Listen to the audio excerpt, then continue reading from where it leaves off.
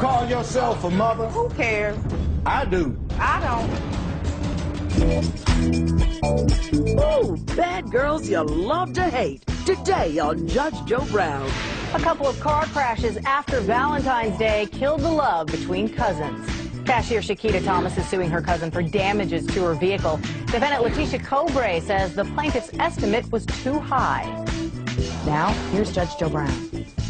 Miss Thomas, it would appear that you're suing your cousin, Miss Cobre. That's correct, Your Honor. Let's see, you are a couple of years older than her, three years older than her, and it would appear that you had a 97 Honda Accord.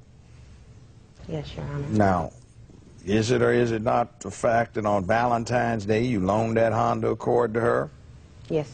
It was not Valentine's Day. It was around Valentine's Day, but no, it was not. Well, exactly okay, on Day. or about or during the period of Get it right. of uh, February in 2006, is it or is it not the fact, ma'am, that you allege you loaned your 1997 Honda Accord to the defendant in this cause? Yes, Your Honor, I did. And why did you do that, please, ma'am? I loaned the vehicle to her because she needed to get to work. And at that point in time, I worked right down the street from where I lived, so I could walk to work. So you walked to work, she drove your car to work. Yes.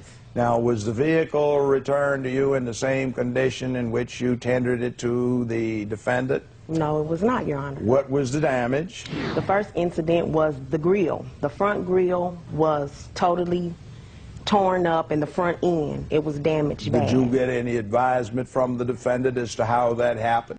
She told me at that time that a friend of hers backed the U-Haul into the truck. I mean, oh. into the car. The U-Haul All truck right. into Now. my vehicle. And Would girl, that appear little bitty after the- damage to that grill, Excuse me a second. you act like that Did car you was did brand you new not and it agree? was to- raggedy. please don't interrupt. was Did you? Please don't interrupt. Did you or did you not agree to becoming involved in a lease with the defendant? Yes. At that point in time, had she agreed to repair your motor vehicle? Yes. Now, you allege that there was a second accident in that motor vehicle. What happened on that occasion? On that occasion, she was um, going to work, and she was trying to hide the vehicle from the stalking ex-girlfriend.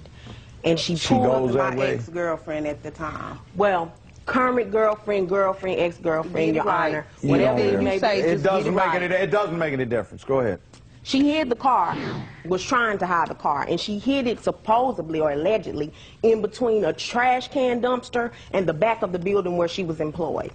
And some kind of way, this long indention, deep dent is on the vehicle.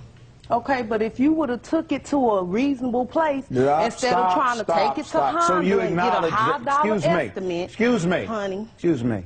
So you acknowledge that this damage occurred while you had the vehicle in your possession? Uh, yeah. Okay, fine. Darn deal. That's it. Okay, next matter. But I now, just asked excuse her, me. get another excuse estimate me. from somewhere Excuse me. else. She doesn't have to. Well, Now, next that's why point. she still ain't got her money. You know, she's making a very good witness for you. All right, next point over here. We have a situation with her walking out on the rent. What's that? Um, at that point in time, the ex-girlfriend or the girlfriend was the ex-girlfriend. So she needed a place to stay. And so my lease was due to be signed again for the next year lease. And I decided we came up into an agreement that she needed a place to stay. I would upgrade to another bedroom and I would sign this lease You with signed her. a lease. Signed the lease. What was her day, uh, monthly rental? Uh, two ninety two fifty. All right. Did she pay that for the entire term of the lease? No, Your Honor, she did not. She paid for four months and then skipped out on the rest of the lease. It was like five months. Have you been paid anything back? No, Your Honor, I have not. Now, during this three-year period from Valentine's Day on or about uh, 2006, is it also the case that you made a loan to her for $2,000? Yes, Your Honor, I did. What was the purpose for that loan? I loaned her the $2,000 because at that point I took on a second job and I needed my car because I was delivering pizza. So I gave her, we talked about it as adults, And I came up with the agreement. Okay, I have this extra money. I will loan you the two thousand dollars for that you can get you a vehicle to drive to and from work. So that way, I was get, I was ensured that I knew for a fact she would get to work and have the money for the bills Why were you so helpful to her? because she was my favorite cousin, and Had you ever lived together before? we had never lived together before. Right, But and you're 31 now. She's 28. yes, Your Honor. You've got a 15-year-old son, 14-year-old girl, 11-year-old girl. You've got a six-year-old girl and a three-year-old girl. So all of you were living in this home. No, my kids wasn't. My kids was in Oklahoma. Mm, All right. Yours were there with you? Mm-hmm. All right.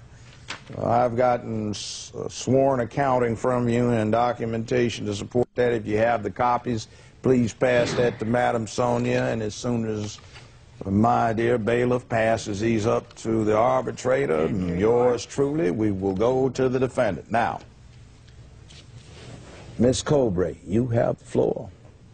Now, already you've admitted that you had the vehicle in your possession when the front um grill was damaged, Okay, but I didn't apparently back the from someone backing the U-Haul into it, and I there's didn't bag it another occasion. I didn't bag it into that. What's that got to do with whether you did or not? It's a bailment. You know what a bailment is? Uh, no. What a bailment means is simply an old law, and it's about a thousand some years old. If you acquire the personal property of another, you have an obligation to return the personal property to the owner in the same condition you received it, absent ordinary wear and tear. The damage we have is not ordinary wear and tear. We'll be right back with Judge Joe Brown.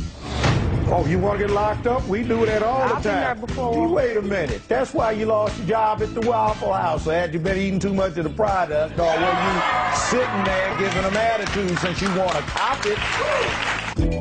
Bad girls you love to hate today on Judge Joe Brown. We're back with Judge Joe Brown. The plaintiff in this case put up with her cousin damaging her car twice, but still moved in with her. She says the defendant used to be her favorite cousin, and she got nothing for it but heartache. Let's take a look. The next point is, is your girlfriend's after you. You had the plaintiff's vehicle, and well, whatever. You have the plaintiff's vehicle at that point in time. It received further damage beyond ordinary wear and tear. So that means you need to go find somebody to sue if you want to recover. Next point, we have into you signed the lease unless you contest this is be you on the lease. And relative to that, you're obligated for a 12 month period, and the lease is in one lump sum broken down into 12 installments. You say you lost your job because your girlfriend was messing with you and caused you to lose your job. That's not the plaintiff's problem. You owe her for the rent. Anything to say? What else? You know what's amazing about you? You come in All here with an attitude, got your arms crossed Okay, so, I'm you're grown and I can mad and angry because your I can do that. I'm your grown cousin brought you and all, but And you're I can do wrong. No, you're dead wrong. when I was badly wrong, she didn't say nothing about violently her wrong, son going way my room, wrong. You don't my- have a leg to stand on, and you Oh, come in here with attitude. So what? So So and what? You know what they call that? I don't give a damn what they call it. That's a $50 assessment, $100 administrative I don't assessment. care. Oh, you want to get locked up? We do that all I've the been time. there before. Gee, wait a minute. That's why you lost your job at the Waffle House. So had you been eating too much of the product, or were you sitting there giving them attitude since you want to cop it? And nobody wanted you waiting on their table. No, honey, I made That's what you money. do? I well, I tell you money. what, we've got L.A. County down here, I and don't they got some women in there just got back trying to resolve Yeah, the last good, 'cause felony before they let them women. go after two good. days. Send me there. They might have a That'll good time with you. To me, because I love women, honey. Why don't you Love love 'em. yourself? Love them, honey. I do. Why don't you start I do. loving yourself? I do. I do. Yeah, I love, try loving I yourself. Love myself, Come up honey. in here with all kinds Sure of do. attitude.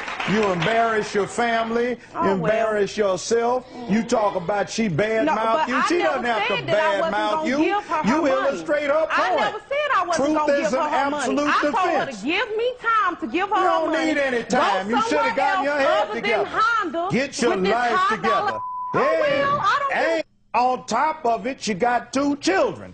What are we So? getting right now? You don't even like men, so how'd you get them? Too broke busted to get artificial insemination, so what's the problem? You switch up to check and see if the plumbing still works? Yeah, that's exactly So what, what kind I of do. parent are you? That's, That's what we get for an I do, attitude from a parent. You no damn wonder we got such hell am, going honey, on in the you country. and in me. the- yeah, I know you. No, I'm you looking at you. You looking mean, at me, but you don't You mean you act know like this in front of strangers? I, I don't give a Oh, listen to you. Is this the way you act in public? y'all don't do For I me bet you nothing. one of them that get Not your children up there and start calling them the N word and all you little Honey, B's y'all and little this ass up in MFs up in front of everybody at the grocery store. Sure yeah, we're looking And at I an pull it off for you incompetent. Look at you. It's another hundred. And you call yourself a mother? No damn wonder we got such hell when we got mothers like you. Okay, well, who cares? I do. I don't. Oh, well, I As figured you you wouldn't. see. That's it. Motherhood without giving a damn about it. What are you, breeding animal? Just Yeah. happens to get bred out in the Yep, that's barnyard? exactly what I am. A- You're a human, act like animal. one instead of a reject. I'm a domestic animal, baby. I agree with you. A so you went over here, 5000 in your cost. That'll be your award. Who gives? And your call. Thank you, y'all. Call yourself a mother? Who cares? I do. I don't. Ooh, bad girls you love to hate. Today on Judge Joe Brown. A couple of car crashes after Valentine's Day killed the love between cousins. Cashier Shakita Thomas is suing her cousin for damages to her vehicle. Defendant Letitia Cobre says the plaintiff's estimate was too high. Now, here's Judge Joe Brown. Miss Thomas, it would appear that you're suing your cousin, Miss Cobre. That's correct, Your Honor. Let's see, you are a couple of years older than her, three years older than her, and it would appear that you had a 97 Honda Accord. Yes, Your Honor. Now, is it or is it not the fact that on Valentine's Day you loaned that Honda Accord to her? Yes. It was not Valentine's Day. It was around Valentine's Day, but no, it was not. Well, exactly okay, on Day. or about or during the period of Get it right.